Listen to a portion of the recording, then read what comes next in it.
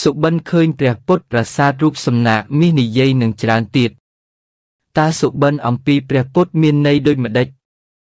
សុបិនរបស់ព្រះពុទ្ធមានអត្ថន័យខាងវិញ្ញាណណាស់សុបិននេះចង្អុលបង្ហាញពីការពិតដែលអ្នកសុបិនត្រូវមានគំនិតបំភ្លឺទើបអាចរស់នៅបានពេញលេញវាក៏បង្ហាញផងដែរថាបុគ្គលដែលមានសុបិននេះនឹងជួបប្រទះនឹងការភ្ញាក់ដឹងខ្លួនខាងវិញ្ញាណពិតប្រាកដក្នុងពេលដ៏ខ្លីខាងមុខ នៃសំណាងល្អធ្វើឲ្យពេលវេលាកាន់តែអំណោយផលដល់ការវិនិយោគថ្មីការបណ្ដាក់ទុន និងផែនការផ្សេងទៀតដែលត្រូវការសំណាងល្អស្វែងយល់បន្ថែមអំពីអត្តន័យនៃសុបិនតកតងនឹងព្រះពុទ្ធខាងក្រោម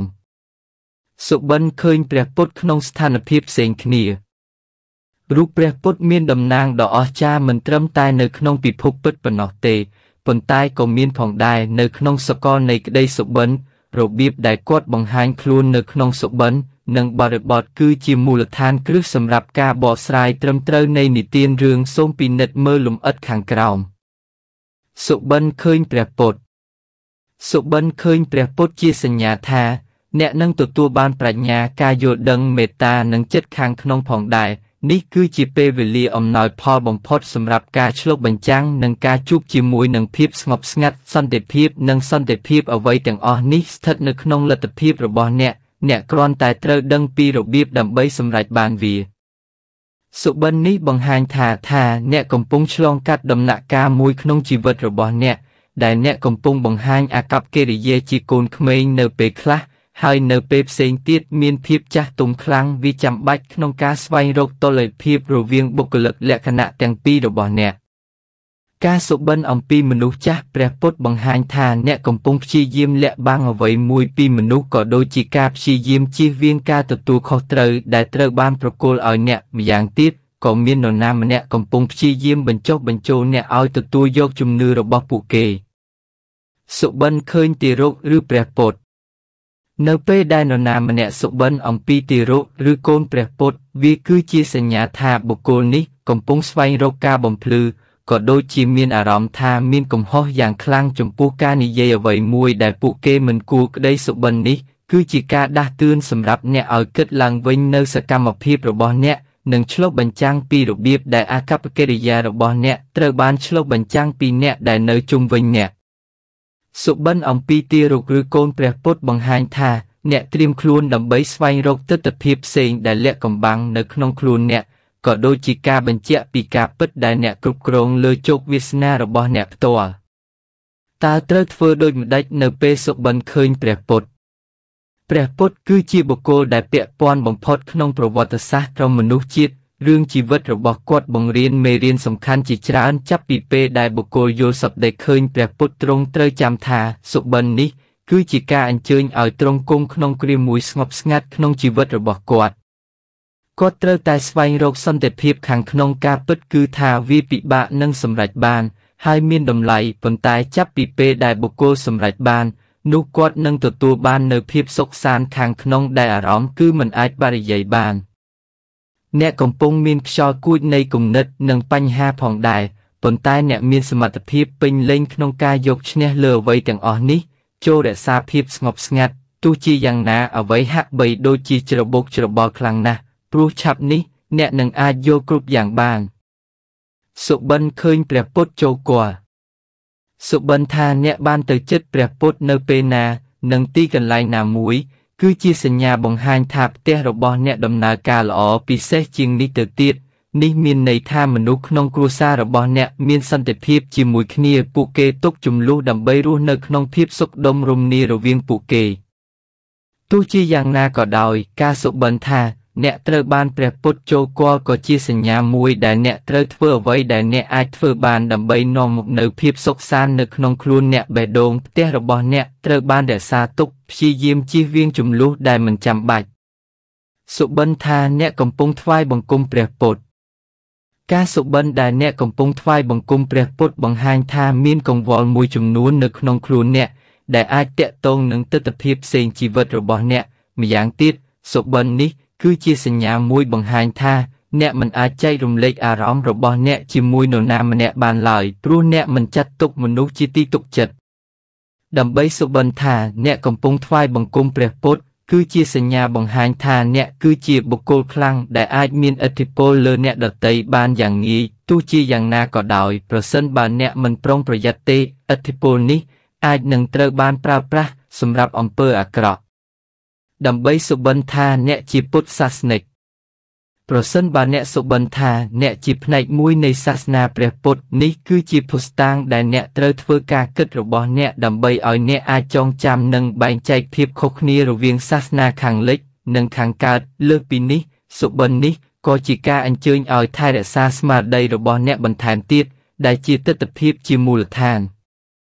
ដើម្បីសុបិនថាអ្នកជាពុទ្ធសាសនិកបង្ហាញថាការអត់ធ្មត់ និងភាពស្ងប់ស្ងាត់ត្រូវតែបណ្ដុះនៅក្នុងបុគ្គលិកលក្ខណៈរបស់អ្នកនេះគឺដោយសារតែការពិតដែលថាអ្នកត្រូវបានប្រឈមមុខនឹងស្ថានភាព stress ជានិច្ចដែលតម្រូវឲ្យមានការអត់ធ្មត់បន្ថែម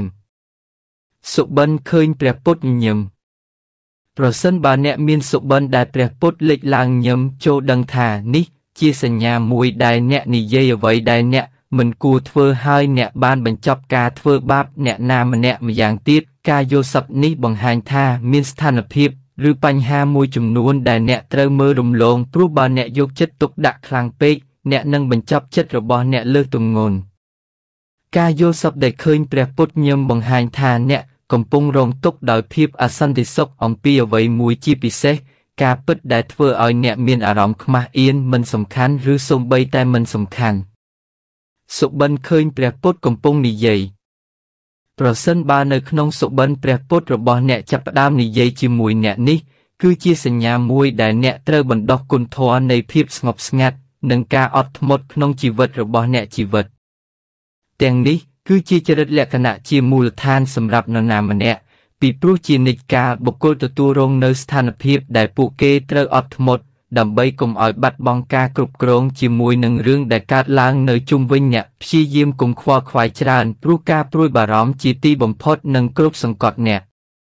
សុបិនឃើញព្រះពុទ្ធនិយាយទៅកាន់អ្នកដទៃ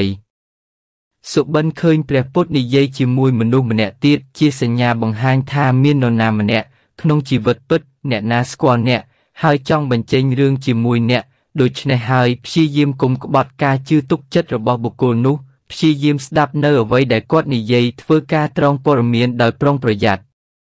សុបិននេះក៏បង្ហាញផងដែរថាអ្នកដែលមានបំណងនិយាយជាមួយអ្នកគឺមានភាពភ័យស្រួយនិងដោយភ័យខ្លាចដើម្បីនិយាយជាមួយអ្នកដូច្នេះព្យាយាមកុំធ្វើការវិនិច្ឆ័យបែបណាមួយពីមុនសុបិនឃើញព្រះពុទ្ធតាមរបៀបផ្សេងវិធីដែលព្រះពុទ្ធលេចឡើងក្នុងសុបិនក៏ពាក់ព័ន្ធខ្លាំងផងដែរ សម្រាប់អត្តន័យរបស់វាដូច្នេះវាសំខាន់ណាស់ត្រលត្រូវយកចិត្តទុកដាក់លើព័ត៌មានលម្អិតទាំងអស់ត្រលបង្កើតជានីតិនុថា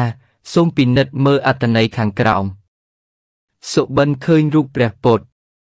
ការមានសុបិនដែលអ្នកអាចសង្កេតឃើញព្រះពុទ្ធរូបគឺជាសញ្ញាមួយដែលអ្នកនឹងជួបប្រទះនឹងភាពស្ងប់ស្ងាត់និងសន្តិភាពសន្តិភាពក្នុងគ្រប់វិស័យនៃជីវិតរបស់អ្នកទីបំផុតពេលវេលាបានមកដល់ហើយ ដែលអ្នកអាចសម្រាកពីការលំបាកទាំងអស់ដែលអ្នកបានជួបប្រទះក្នុងការធ្វើដំណើរអ្នកព្យាយាមទុកកង្វល់មួយឡែកសិន ហើយដោះស្រាយតែរឿងដែលមានអាទិភាពខ្ពស់បំផុតសុបិនឃើញរូបសំណាកព្រះពុទ្ធសុបិនឃើញរូបសំណាកព្រះពុទ្ធបង្ហាញថា អ្នកកំពុងរក្សាកង្វល់ជាបន្តបន្ទាប់ក្នុងខ្លួនក្នុងតកតងទៅនឹងផ្នែកដែលផ្លាស់ប្ដូរច្រើនបំផុតនៃជីវិតរបស់អ្នកអ្វីដែលកាន់តែអាក្រក់នោះ អ្នកក៏បដិសេធមិនចែករំលែកអារម្មណ៍របស់អ្នកជាមួយមនុស្សផ្សេងទៀតដែរព្រោះអ្នកខ្លាចថាពួកគេនឹងក្បត់ការទុកចិត្តរបស់អ្នកមិនមែនមនុស្សទាំងអស់អាចជឿទុកចិត្តបាននោះទេ